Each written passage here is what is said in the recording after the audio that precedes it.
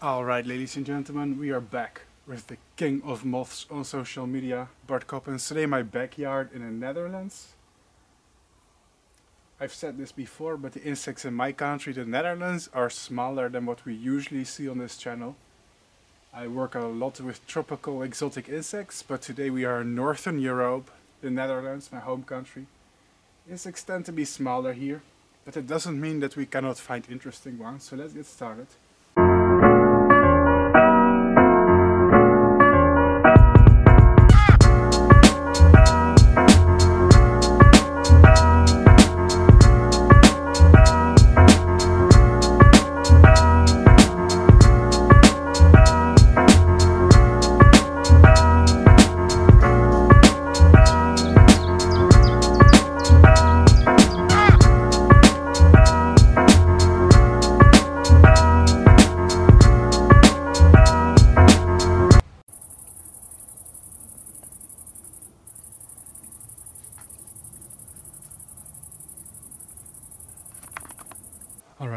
Now to me, the coolest catch of tonight is this single hawk moth.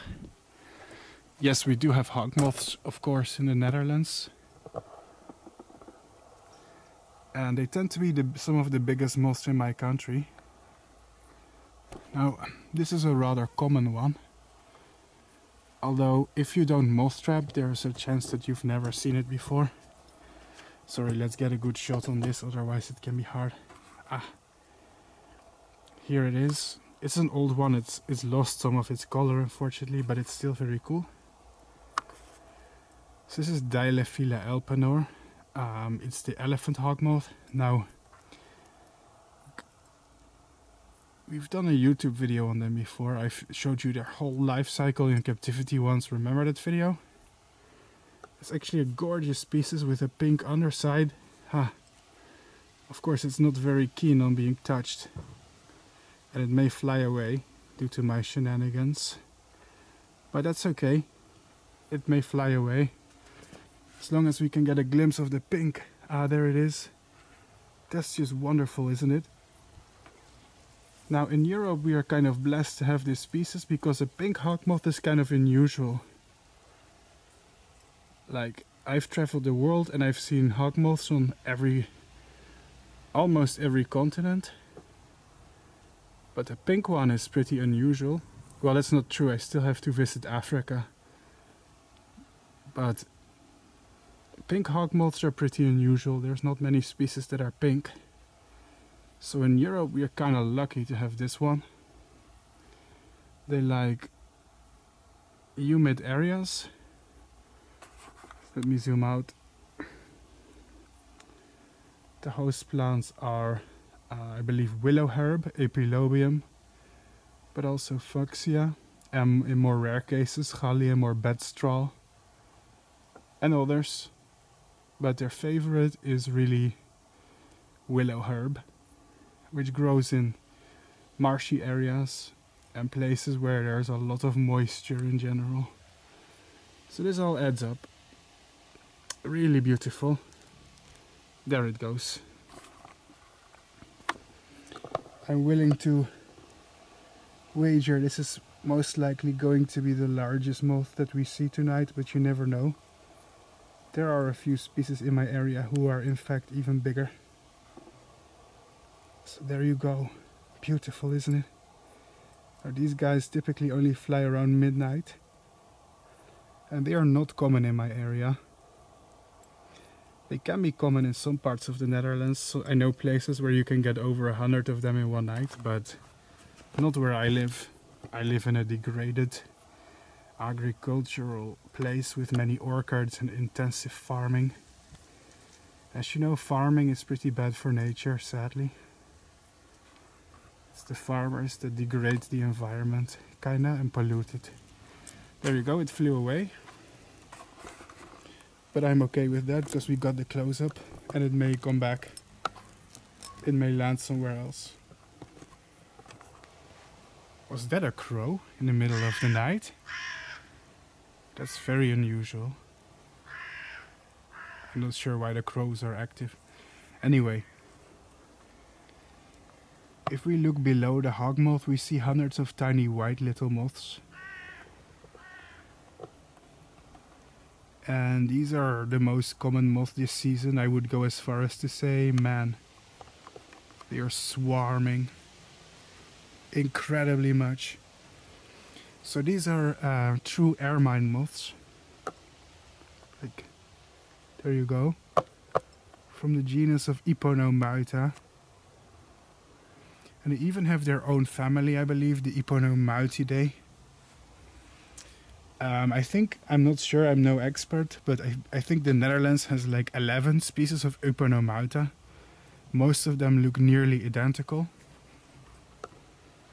So if we zoom out the camera, you can just see how incredibly much there are. Like all these white little things here covering the sheet.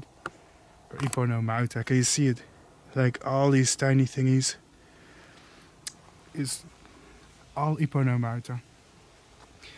Now I'm not really able to identify these based on their appearance. I think you need a bit of expertise for that that I don't have. Believe it or not, I'm not an expert in every moth species. So but I do have the suspicion this is Yponomeuta rorella because we have a lot of willow in the area and the willows this year have been defoliated by the caterpillars so I'm willing to wager this is Yponomeuta rorella the willow ermine moth but I cannot be 100% sure it could be there could be other species in here like I said I think there's like 11 species of them in the Netherlands, and I don't recognize all of them just by staring at them. It's quite hard. Now this amount of moths is a good result for my garden. I've said it before, but I typically don't live in a place with incredible biodiversity, although we do have some small forests and floodplains and parks and gardens. So thankfully I do get more moths in my backyard than the typical city dweller. But I still dream of going to like the dunes or a big forest in the Netherlands and moth trapping there instead. Now here we have a cute little mothy. It's about as big as my fingertip. There you go. Let's get some zoom on this one. Now guys, this thing here I believe is quite interesting. It's very common. I believe this is the oak marbled beauty, Drymonia querna. It's a rather common species associated with parks, woodland, but basically any pla place where there is beech or oak tree, which are its host plants.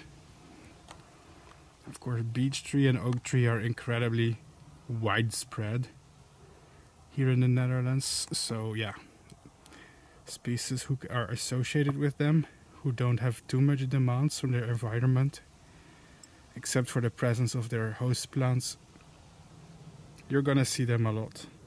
Lots of species in the Netherlands eat oak tree. Oops, too much zoom here. It's a very typical notodontid moth. Interesting.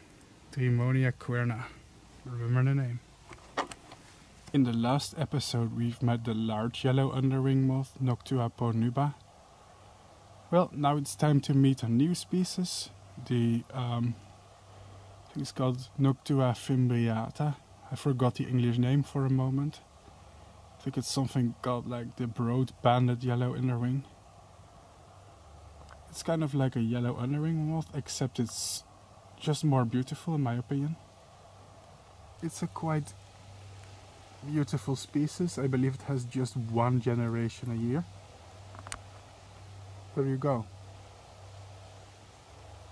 But it's still rather common and widespread and its flight time is summer. I think like from July to September or something. Yay. Here it goes. It's it's going a bit crazy I guess because I touched it as the name suggests, it has yellow hind wings, which are very hard to show you on YouTube. Yellow hind wings, you only see it when it, it flies. Maybe we can annoy it a little bit. Aha, do you see that, the yellow wings? Yeah, that's right. This is gonna be very hyperactive footage. Some of the moths don't really want to settle down and I don't blame them. Oh, are you gonna settle down? Alright. Show you how many species of yellow underwings we have in Europe. It's a lot. This is the lesser yellow underwing, Noctua comes. It's different from the large yellow underwing, judging by its size of course, but also the markings are different. Once again, it's a very common species. Now, if you study moths in Europe and you're gonna do any moth trapping to study the native wildlife, start learning your local Noctua species because the ones from that genus tend to be the most common and the most prevalent. And almost anywhere, any place to be honest, like this genus is so important. Guys, I'm gonna be honest, I haven't seen anything rare or unusual. I was excited about the hawk moth, but that's just because uh, of the size discrimination. Because the hawk moth is not rare either, it's just big. So it's more exciting, but the thing is it's not always about getting rare things. Even though I admit, moth trapping is kinda like fishing. You're waiting for that one really elusive creature so this should be the Dunbar moth, Cosmia trapezina. And what's cool is the caterpillars of this one can eat caterpillars of other moth species. Although it's not an exclusive carnivore, they're actually herbivores, but also opportunists. So if these, the larvae of these moths, if they like encounter caterpillars of other species on their food plant, they will eat them which is pretty unusual behavior still. There's not that many blo bloodthirsty moths out there. That one has carnivore tendencies. Yeah, this is going to be a lesson in the common stuff of Europe. Here we see what is called a small magpie. Once again, a very common garden species in Northern Europe, at least here in the Netherlands. Their existence is associated with stinging nettles. And yeah, a stinging nettle, it's absolutely everywhere. It's one of the most common plants in this region, so these moths are uh, thriving. Of course, there's more to consider than how common the host plants are. Interestingly, there exist some butterflies and moths who use very common host plants, but they are still very rare. Because uh, I guess they them have a lot of demands when it comes to their environments. But if you are a generalist and your host plant is a common, yep, you are in luck. Very beautiful, I like them. Even though you really get used to seeing them, it's still pretty cool.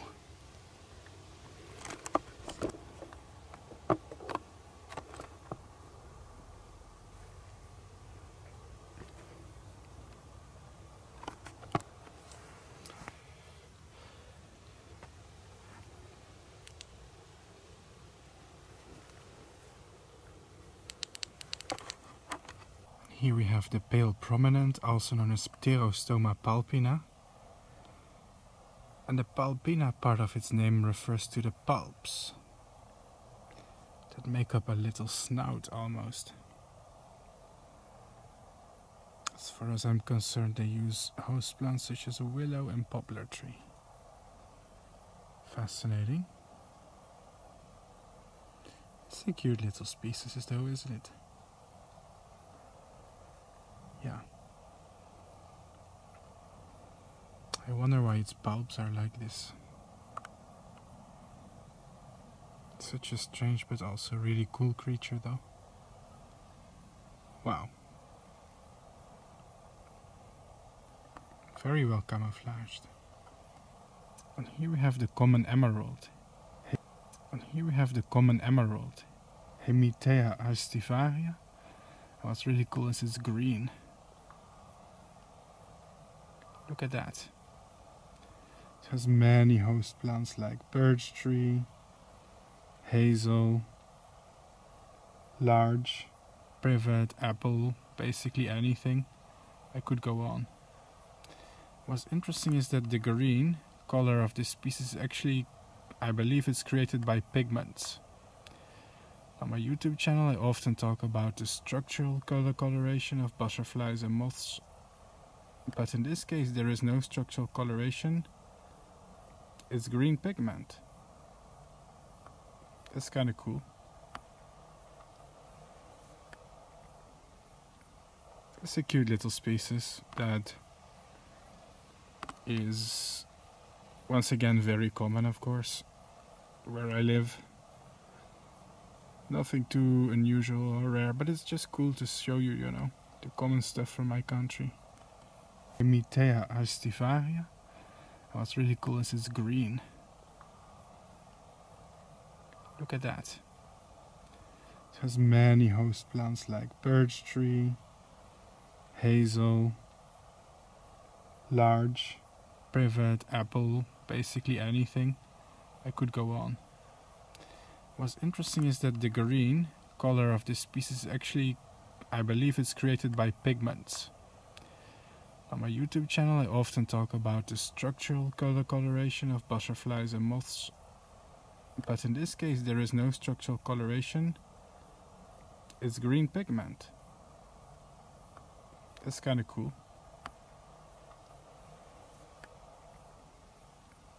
It's a cute little species that is once again very common, of course, where I live. Nothing too unusual or rare, but it's just cool to show you, you know, the common stuff from my country. This one right here is actually really cool. It is called the blood vein. Timandra comae. And I guess you can see why it's called the blood vein because it has really one very cool dark red line that runs along the wings, but also the wing margins are like reddish. So that's cool. And like I said, in Europe, all the small moths have common names. I find this to be quite silly and ridiculous, especially after going to tropical rainforests several times, where there's moths that Nobody has ever even photographed them, ever. And here in Europe, we're giving all of them common names, even the small ones. I believe the food plants include dock and sorrel. So that's cool. Yeah, folks, this is also a really nice sketch. This is a leopard moth. Zeuzera pyrina and it's from the Cossidae family, which may include the giant goat moth if you've seen those before. Let's see if it wants to sit on my hands. Oop. Now in the Netherlands this is what we would consider a really big species of moth. That being said, the females of this one are even larger. This is a male. And they are not very popular with farmers That's because the caterpillars of this species bore into wood of trees, and this includes fruit trees such as apple, pear, but also many, many other trees. I think like aspen, willow. Actually, have a crazy amount of host plants. And this makes them overpopulate in orchards and they are good at killing trees if the population density gets high. Although they target sick and dying trees first. Still, it's a really nice catch. Then again, who cares what farmers think, right? They're the reason the environment tends to be completely degraded in the first place, especially in the Netherlands. It's a nice species It can be locally common, although many people go their whole life without seeing one. Of course, your chances are higher to find it if you are moth trapping. Otherwise, it's pretty hard to come across them just casually. That's cool, isn't it? Very pretty species, huh? Wow.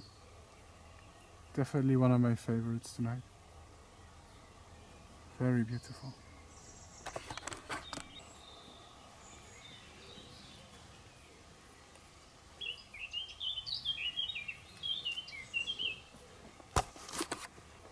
This one is called the oak hook tip.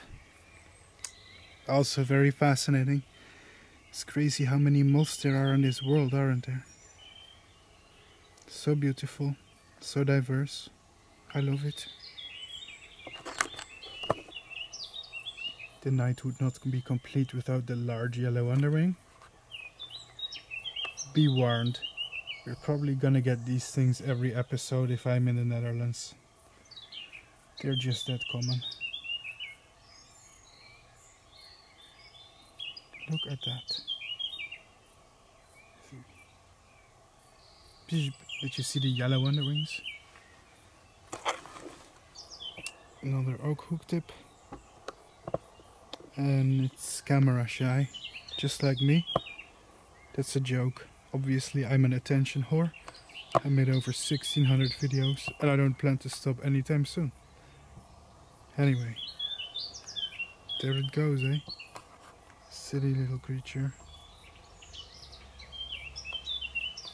What?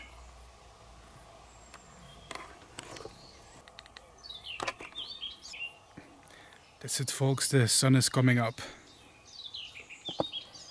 And therefore it is time to take the trap down. Moths need to stop coming if there is sunlight.